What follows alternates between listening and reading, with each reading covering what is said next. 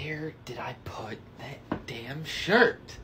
Yo, Percy, what's going on in here, man? Everybody's loaded up in the car. We're ready to head to the beach. Just give me a minute. I've torn apart my whole cabin and I cannot find my surf shirt. Surf shirt?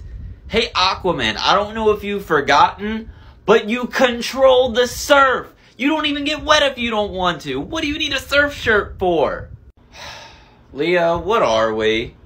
Little bit more specific there, Waterboy. In terms of what? Because I don't know about you, but I am devilishly handsome.